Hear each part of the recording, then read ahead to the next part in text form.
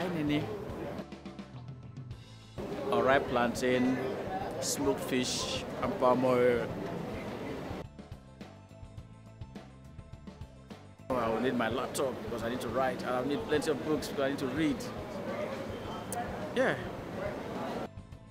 Books. Okay, cars. We had, we had one when we were growing up.